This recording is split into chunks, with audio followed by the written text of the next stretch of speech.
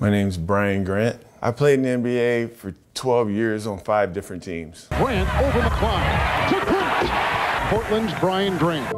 When I was diagnosed with Parkinson's, I was 36 years old.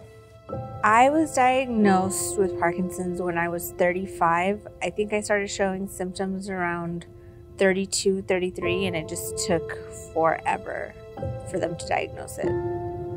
I was diagnosed with Parkinson's disease in the summer of 2018 when I was 43 years old. I was 48 years old, and I was in the peak of my career. My husband, Harry, had young onset Parkinson's disease for 10 years before he passed. When I was diagnosed, it was like, wow, how, did, how does this happen? And, and I didn't know someone my age could get it. The main misconception that I think people have about Parkinson's is that it's a disease that primarily affects people who are older, meaning like in their 70s or 80s.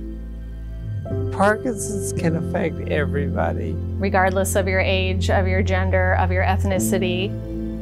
We all experience it so differently. And most of society has no idea about the wide gamut of symptoms and body systems that are afflicted.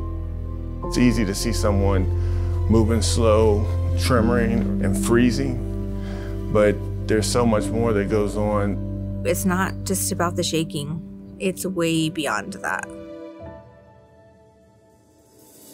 So I was honored to be invited to be part of Brian's team to go from Portland to the coast. As I wanted to meet other people like me that represented a diverse background.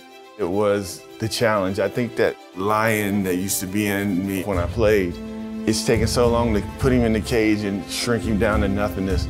I think that little tiny lion said, let's go for it. And it just started growing and growing and growing. I said, let's do it.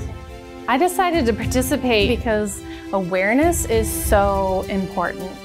Raising awareness for Parkinson's is a really big deal to me, so that's really why I wanted to do the relay. I had done Hood to Coast, the running event, when I was able to run. I really can't run anymore. So it's nice to be able to like take part in the event that I once did. Jen mentioned it during a physical therapy session, and I just said, I'm in. The thing we have most in common is that we're all very dedicated.